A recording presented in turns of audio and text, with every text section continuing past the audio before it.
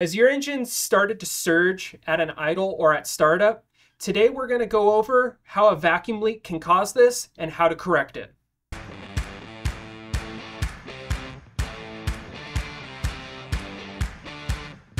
When starting to diagnose anything with the EFI system on your engine, a great spot to start is to go into the dashboard section of the handheld. Today we're going to look at the RPM and watch it fluctuate to see how a vacuum leak affects the EFI system.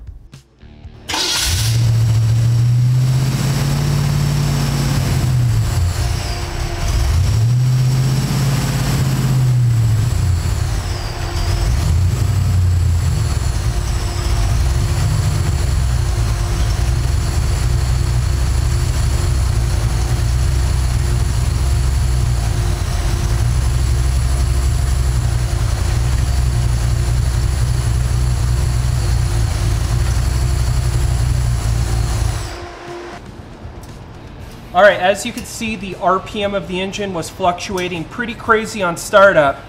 We heard a hissing noise which gave us a clue that there was a vacuum leak, and look what we found. We had a backfire on the previous uh, run of the engine, popped off a vacuum cap, can't find it, so we're gonna go and replug it up with a vacuum cap that we have.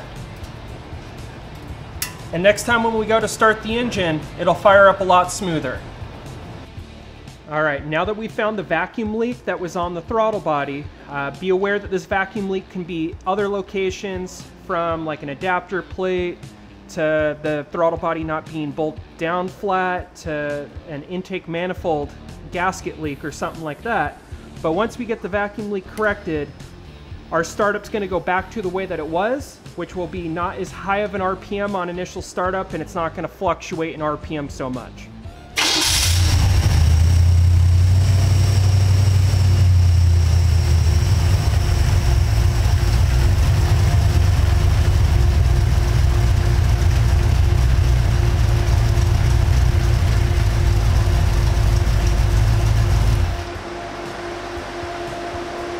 So as you can see, once we isolated where the vacuum leak was and fixed it, the next initial startup of the engine was way more smooth and came down to a clean, stable idle.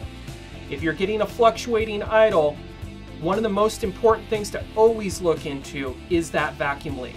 And please again, not every vacuum leak comes from a vacuum cap missing. It can be from an intake manifold gasket leak, it can come from a spacer plate, the throttle body may not be fitted over the, the uh, carb pad perfectly fine. So all of these things are potential points of leaks.